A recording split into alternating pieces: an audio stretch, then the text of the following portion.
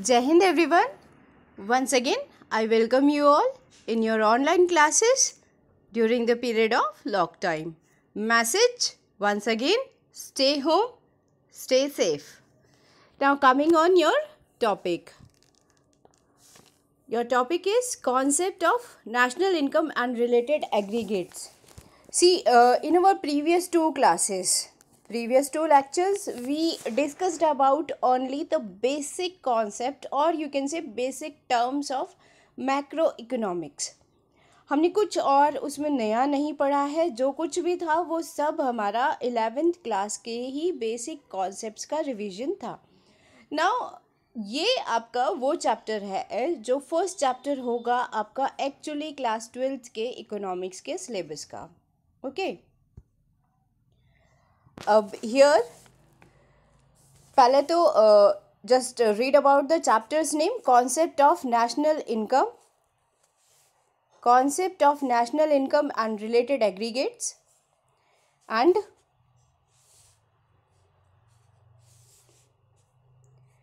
here are the learning objectives. What you are going to learn in this chapter? It is national income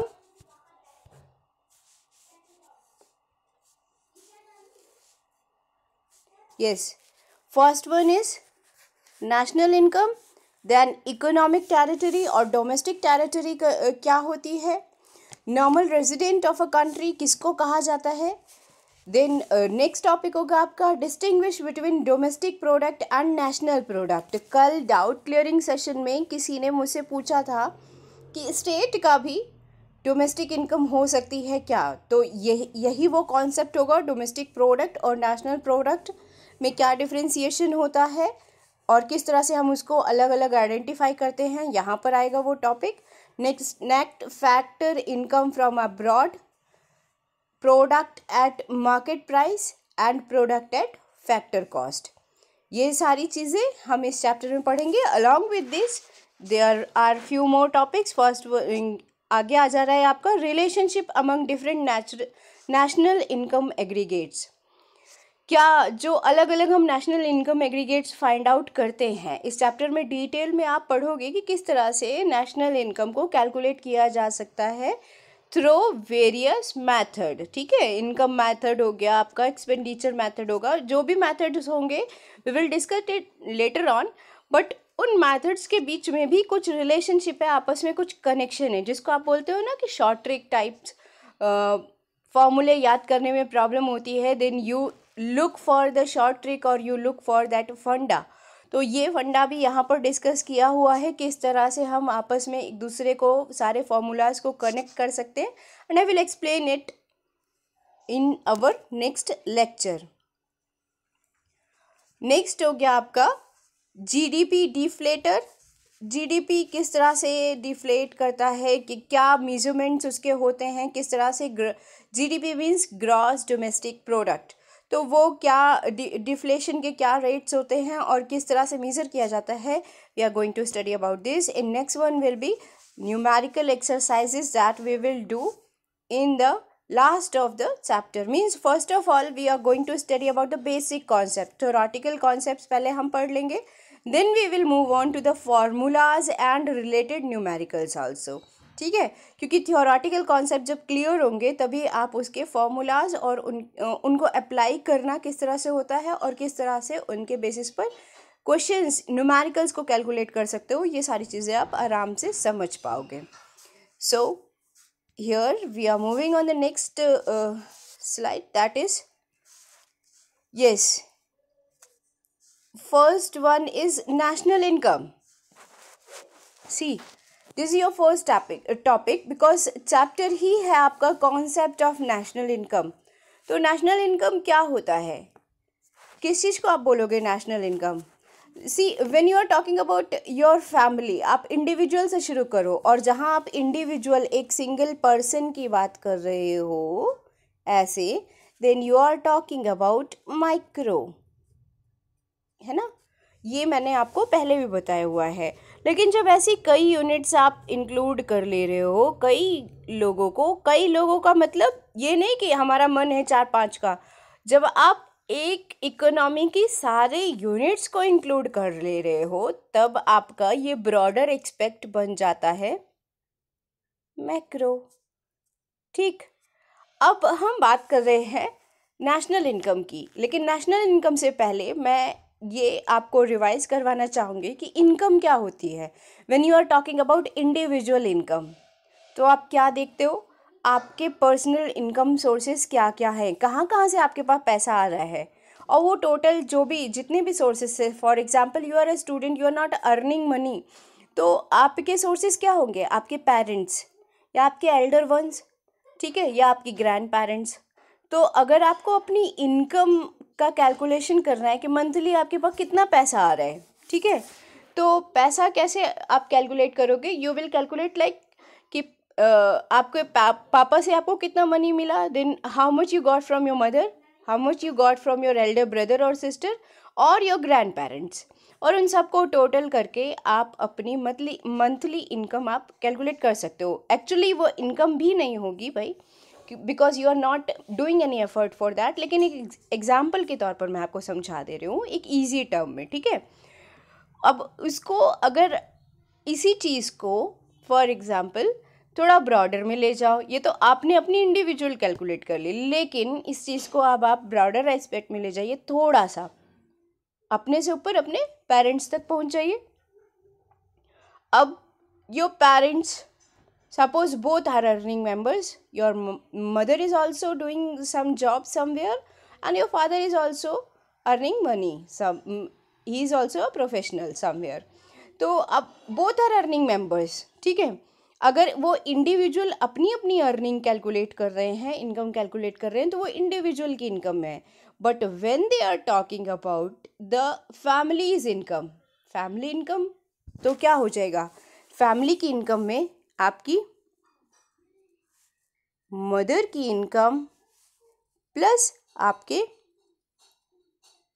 father की income plus other sources से भी जो कुछ आ रहा है। है ना? अब ये अदर सोर्सेस क्या हो सकता है? अदर सोर्सेस में आपका क्या इंक्लूड हो सकता है? रेंट भी आ सकता है, हो सकता है कि आपकी, आपका घर बड़ा हो, आपने किसी को एक दो मतलब थोड़ा पोर्शन दिया हुआ हो किसी को रेंट के तौर पर तो वो रेंट भी आपकी फैमिली की इनकम में आ रही है। हो सकता है कि आपके ग्रैंड पेरेंट्स एक कह लो कि एक लविंग अफेक्शन के तौर पर कुछ मनी आपको मंथली बेसिस पर आपके पेरेंट्स को देना चाहते हो तो वो भी आपकी फैमिली इनकम में इंक्लूड हो रहा है। और ये सारी चीज़ें मिलाकर आपकी क्या बन रही है? ऑल टुगेदर ये सब बन रहा है आपका फैमिली इनकम ठीक है? तो ये सबको मिलाकर आपका क्या बना? फैमिली इनकम ये तो सब माइक्रो के टॉपिक्स हुए। ये एक छोटे यूनिट की बात है। एक फैमिली की बात है, एक इंडिविजुअल की बात है। लेकिन हम यहाँ माइक्रो नहीं पढ़ रहे हैं। We are talking about macro अब मैक्रो में क्या होता है? मैक्रो में we study about all the production units जितनी भी हमारी प्रोडक्शन यूनिट्स है, एक इकोनॉमी में या कह लीजिए एक टेरिटोरियल बाउंड्री में। तो अब उन टेरिटोरियल बाउंड्रीज में, ठीक है? नेशनल इनकम की डेफिनेशन क्या होगी? नेशनल इनकम मतलब वो सारे जितने भी प्रोडक्शन यूनिट्स हैं, वो सारे रिसोर्सेस मैं सिंपल टर्म में लिख रही हूँ income of all the resources of production. In a territorial boundary is called as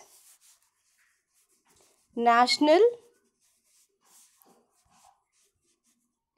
income अब ये देखो, ये जो मैंने आपको बताया है this is not actually the technical definition of national income ये ऐसा नहीं है कि you can write it down in your exams ये आपके माइंड में कॉन्सेप्ट क्लियरेशन के लिए मैंने सिर्फ़ एक एक सिंपल डेफिनेशन प्रेजेंट की है कि एक टेरिटरियल बाउंड्री के अंदर प्रोडक्शन के जितने भी रिसोर्सेज हैं, उनकी सब इनकम को एग्रीगेट आप कर दो।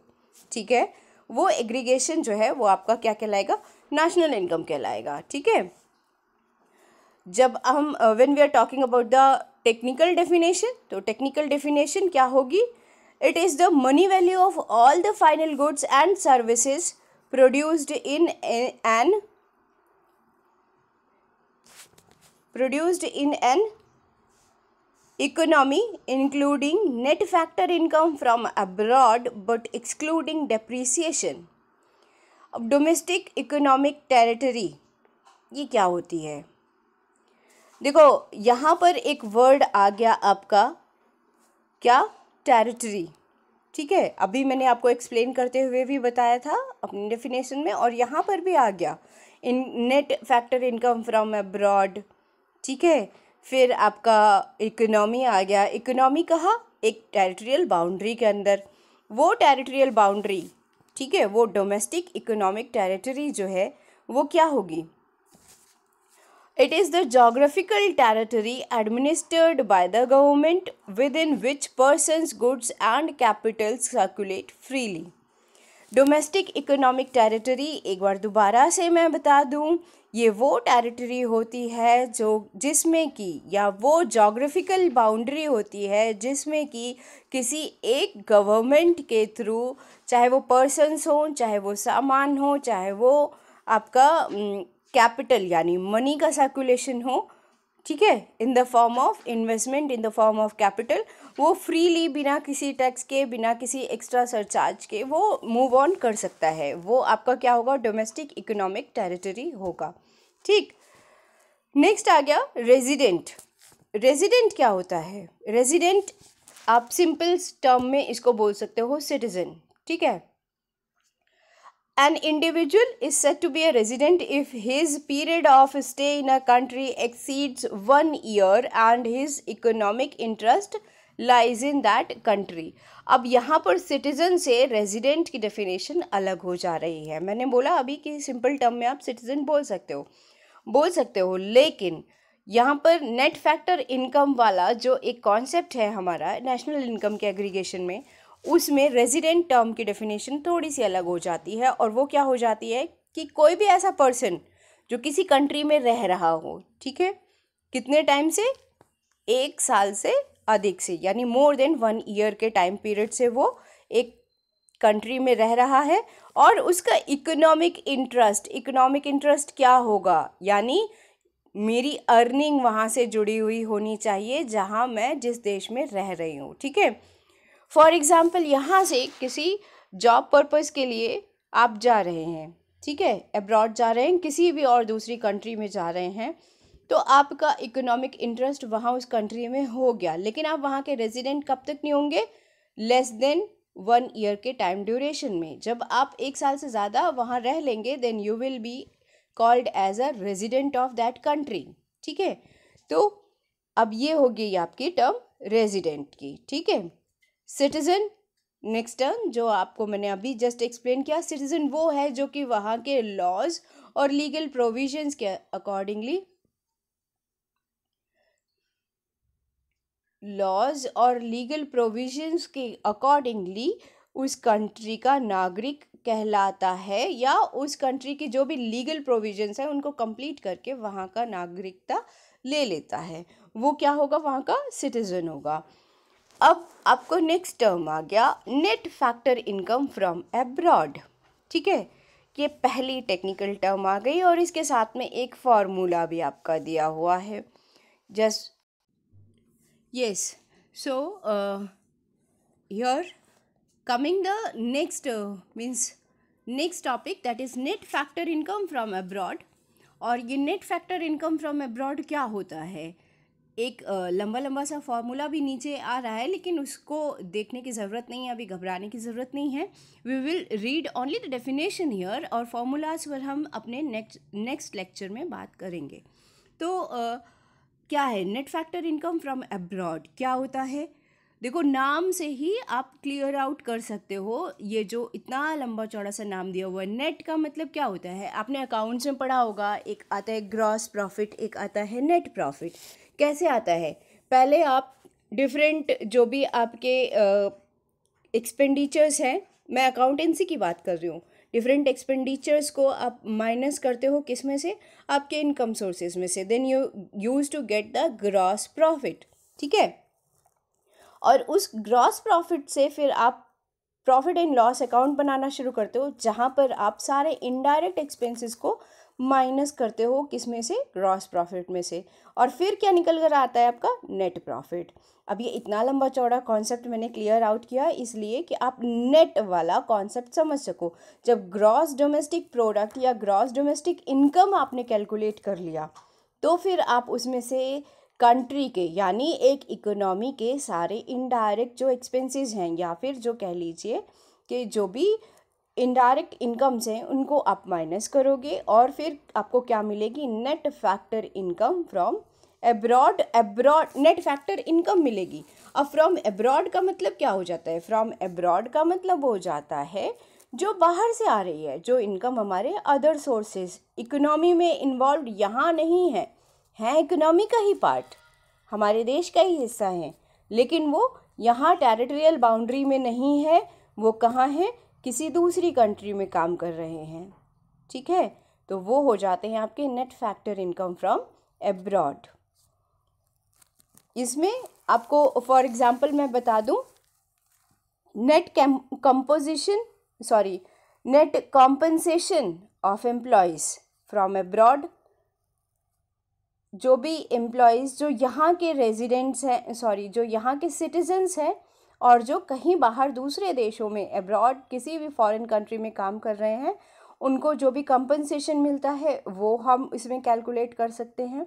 Net income from property and entrepreneurship कितना इनकम प्रॉपर्टी और एंटरप्रेन्योरशिप से हमको बाहर की कंट्री से मिल रहा है, लेकिन उसके लिए सिटीज़न हमारे यहाँ के होने चाहिए, ठीक है? नेक्स्ट आ गया net retained earning retained earning कौन सी होती है, जिसको हम क्या करते हैं? बचा कर रखते हैं, ठीक है? अब किस लिए बचा कर रखते हैं? ये आप अकाउंट्स में पढ़े होंगे। यहाँ पर नेट रिटेन अर्निंग कौन सी होगी? Difference between retain earning of resident companies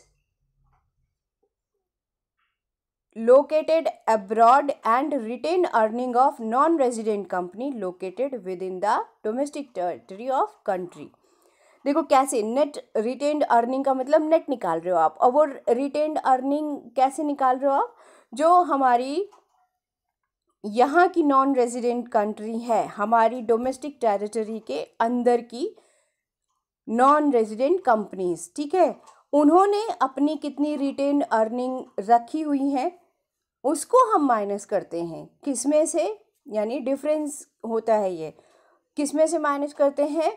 जो कि हमारे यहाँ की कंपनीज़ जो कि बाहर कहीं रेजिडेंट कंपनीज़ जो कि बाहर कहीं अब्रॉड में लोकेटेड हैं और उनकी रिटेन अर्निंग है उससे, ठीक है? अगर अदर वर्ड्स में मैं इसको रिपीट करूँ कि net factor income from abroad क्या होता है, ने तो सिंपल भाषा में सुन लीजिएगा। Factor income earned by the domestic factors of production employed in the rest of the world ठीक। ध्यान से, एक बार दोबारा से। Factor income earned by the domestic factor of production employed in the rest of the world minus factor income earned by the factor of production of the rest of the world employed in the domestic economy ठीक है? Formula के तौर पर आपको बता दें, net factor income from abroad क्या होता है? Factor income from abroad minus factor income to abroad.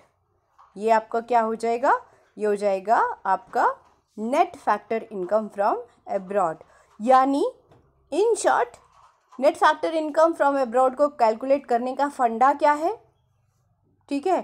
उसका फंडा सिंपल भाषा में समझ लो, फॉर्मूला रटने की ज़रूरत नहीं है, समझो कि हमारे लोग जो बाहर से कितना पैसा कमा रहे हैं, वो हम रखेंगे और उसमें से माइनस कर देंगे हम किन विदेशी लोगों को, किन नॉन नॉन सिटीज़न लोगों को जो कि बाहर से यहाँ आकर हमारी कंट्री में अर्न कर रहे हैं। उनको कितना अमाउंट दे रहे हैं, ठीक है? इन दोनों के बीच का जो डिफरेंस होगा, वो आपका net factor income from abroad होगा। That's all for today's class your homework is you have to give yes, your homework is, you have to give five examples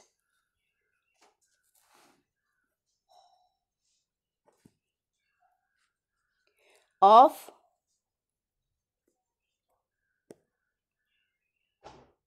residents and non-residents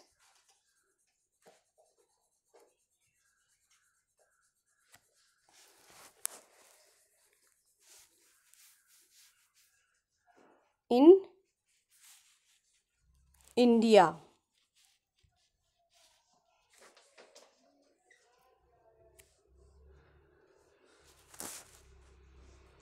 This is this is your homework. Along with this, you have to make notes of the dot topic. That is obvious. I need not to remind it every day. Thank you and have a nice day.